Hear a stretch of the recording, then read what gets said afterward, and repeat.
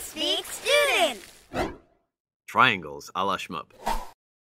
Goldilocks has had it up to here with bears, understandably so. She is also through with porridge. Ever since she tried the delicious, crispy, cheesy crunch of a Schmorito nacho cheese flavored chip. Well, she's on a corn chip bender now. Seriously, she needs help. She can't stop herself from raiding the homes of poor innocent families in search of their cheesy chips. One day she picked the wrong cottage. She tore into one of the bags, but was disappointed with her first schmorito she grabbed. Goldie is very picky about her schmorito shapes, and this one was clearly an obtuse triangle, which had one angle that was greater than 90 degrees.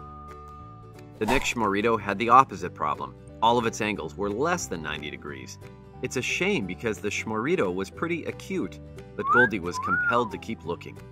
Many of the schmoritos in the bag were equilateral triangles. All of their sides were congruent, but it still wasn't doing it for Goldie. Too perfect, she thought. You can never be too perfect. She also came across a schmorito that was isosceles with two equal sides. Not perfect enough, Goldie thought. There was a scalene schmorito with three sides of completely different lengths. Must have been an accident at the schmorito factory, Goldie thought. Just when she was about to give up, Goldie finally happened upon a schmorito with a right angle. A right triangle, Goldie shouted excitedly. Ah, now this one is just right.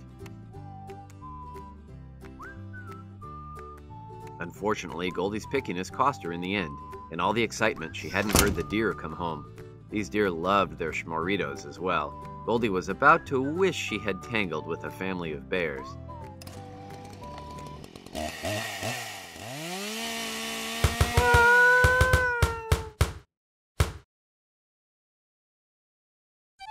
Subscribe to check out more equally fantabulous videos. You should see the subscribe button just below this one.